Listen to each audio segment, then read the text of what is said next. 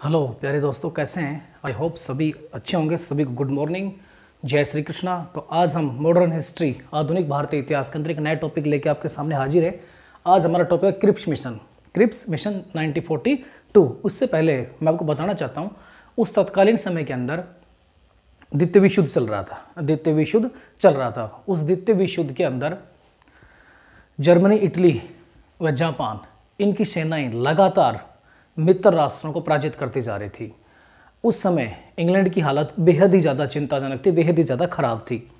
लगातार अगर हम बात करें, भारत की स्थिति, भारत उस समय अंग्रेज़ों का गुलाम था या उपनिवेश था और भारत इंग्लैंड का सबसे बड़ा उपनिवेश था। लगातार जापान की सेनाएँ बढ़ती जा रही थी।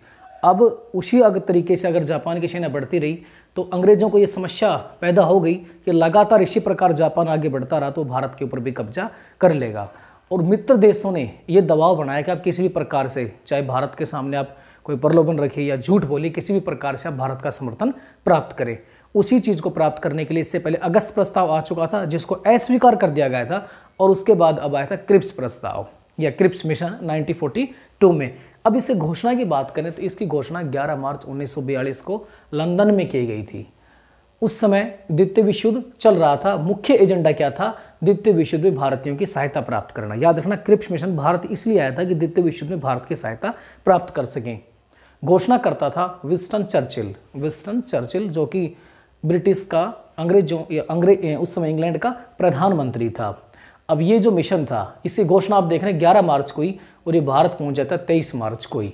अब आप सोच रहे हैं कि इतनी जल्दी पहुँच जाता है, क्योंकि अंग्रेज़ों का स्वार्थ छिपा हुआ था। लगभग अंग्रेज़ों की हालत खराब हो रही थी। 11 मार्च को घोषणा कर रहे हैं और 23 मार्च को ये भारत पहुँच रहा है। इसके अध्यक्ष की बात करें स्टेफोर्ड क्रिप्स अध्यक्ष इसको बनाया गया था? स्टेफोर्ड क्रिप्स को इसका अध्यक्ष बनाया गया था।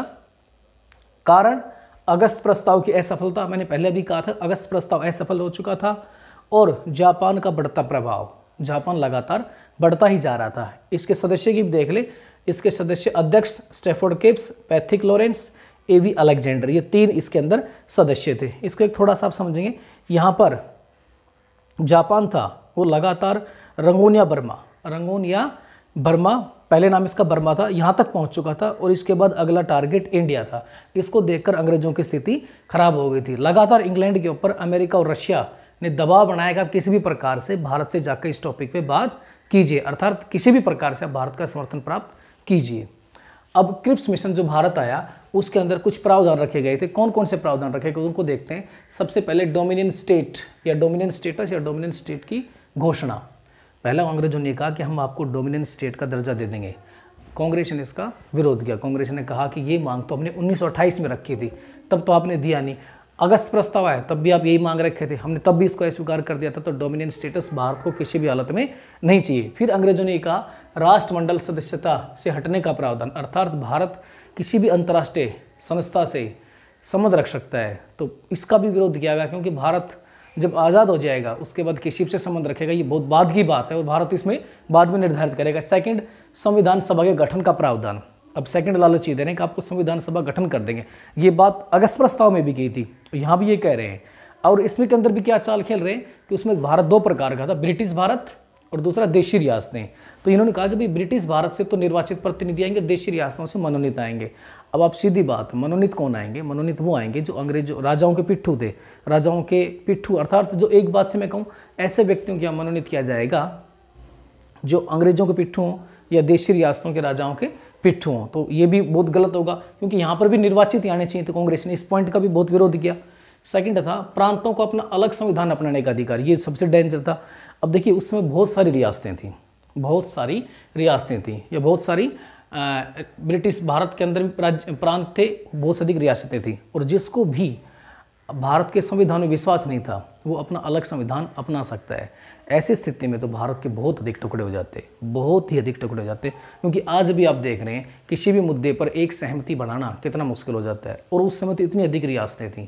अपने अपने सभी के स्वार्थ थे, किसी के भाषा के आधार पर, किसी के धर्म के आधार पर, किसी अन्य कारण से, उन सभी को एक करना मैं समझता हूँ बहुत ही ज़्यादा डिफ़िकल्ट था और इस चीज़ को अपना लेते तो मेरे ख्याल से भारत कभी हो ही नहीं सकता था। क्योंकि आपने देखा होगा, अभी हमने कुछ दिन पहले जम्मू कश्मीर में आर्टिकल 370 खत्म किया है। उससे पहले जम्मू कश्मीर की स्थिति, एक राज्य जम्मू कश्मीर ने ही बिल्कुल हमारे सारी की सारी व्यवस्था खराब करके रख दिया था। अगर इतनी अधिक कॉन्स्टिट्यूशन संविधान बन जाते तो भारत को चलाना संभव नहीं, बिल्कुल ही असंभव होता। तो ये एक था अगला। इस पर भी अधिक बहुत अधिक नाराज़गी प्रकट की। फिर गांधी जी ने इसके ऊपर अपना स्टेटमेंट जाता है कि पोस्ट डेटेड चेक है। याद रखेंगे, अक्सर पूछा जाता है, किसने इसको पोस्ट डेटेड चेक का है? तो गांधी जी के द्वारा इसको पोस्ट डेटेड चेक कहा गया है। सेकंड है, जवाहरलाल नेहरू ने कहा है कि ये आगे की तिथि का चेक है। आगे की तिथि का चेक है, जिसका बैंक बंद होने वाला है। ये दो कोटेशन अक्सर पूछी जाती हैं। गांधी जी की post dated cheque Jawaharlal Nehru की आगे की तिथि का चेक जिसका बैंक बंद होने वाला है। कांग्रेस की इसकी प्रतिक्रिया क्या थी? कांग्रेस की प्रतिक्रिया मैंने साथ साथ आपको अभी समझा दी है कि कांग्रेस इससे असहमत थी, सारे के सारे पॉइंट पे कांग्रेस इससे खिलाफ थी। कांग्रेस ने इसको अस्वीकार कर दिया। दूसरी मुस्लिम लीग, जो मुस्लिम कम्युनिटी का प्रतिनिधित्व कर रही थी, उस पॉलिटिकल पार्टी ने भी इसको बना कर दिया। आप कह सकते हैं कि मुस्लिम लीग के सामने यहाँ आ रहा है कि प्रांतों का अपना संविधान अपनाने का अधिकार था। ये तो बिल्कुल आ रहा था। लेकिन पहली बात मुस्लिम लीग ने कहा कि इसमें एक तो पृथक निर्वाचन प्रणाली के बारे में वर्णन नहीं कर रखा। सेकेंड स्पष्ट रूप से पाकिस्तान के निर्माण या अलग राष्ट्र के निर्माण की बात इसमें नहीं कह रखी है। इस प्रकार मुस्लिम लीग के द्वारा भी इसका एक प्रकार से अस्वीकार कर दिया गया। तो क्रिप्स मिशन या क्रिप्स मिशन से क्रिप्स प्रस्ताव से महत्वपूर्ण बातें यही बनती हैं। इसको मैंने बहुत अच्छी तरह से एक्सप्लेन कर दिया अगर आपको अच्छा लग रहा है तो लाइक शेयर एंड सब्सक्राइब ज़रूर करें। वंदे मातरम।